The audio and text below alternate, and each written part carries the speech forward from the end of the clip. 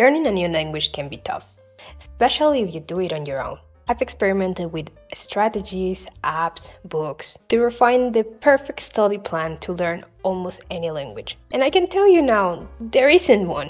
We all have different needs and different skills, so we need study plans adapted to that. What we can do though is follow a roadmap based on the type of language that we are learning. So today I will show you how to generate a personalized study plan for your desired language from zero. Some generalities I take into account when learning a new language are if they have an alphabet, what are the basic letter and syllable pronunciation, and the level of difficulty. For example, Korean has an alphabet that we can learn just by memorizing the letters, but Chinese doesn't. So diving into learning how to write Chinese can take a lot longer than Korean. Also, in terms of pronunciation, Chinese is a little harder because it includes tones, while Korean doesn't mind the intonation of the words. So considering this, you can learn Korean in all these aspects altogether. But with Chinese, you need to omit writing for a time. But how do you start? As a general rule, I will advise you to start by learning the alphabet if your desired language has one. So that's step one in your roadmap. After that, any syllabus that you choose, whether from a book, app, or website, can work fine. Most of them are standardized. So unless you have any specific need, it's okay to go with that. Then you need your study plan. I've repeated so many times that you need a study plan that fits your needs, flexible to change as needed.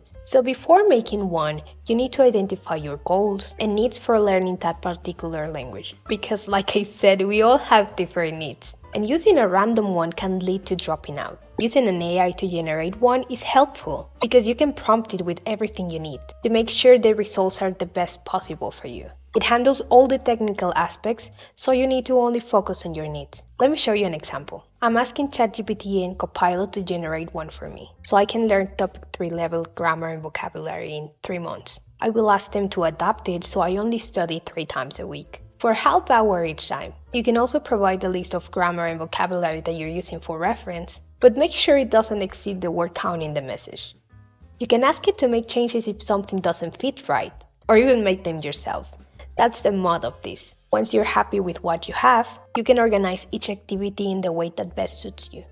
For me, that's using Google Calendar, but you should use whatever is best for you. Remember, this plan is flexible, so you can change it if you don't feel it's working, or ask the AI to generate a new one. I know learning new languages can be overwhelming, especially when you're on your own. So I hope with this little guide you can feel less pressure to dive in. That's all for today. Thank you for watching. See you next time.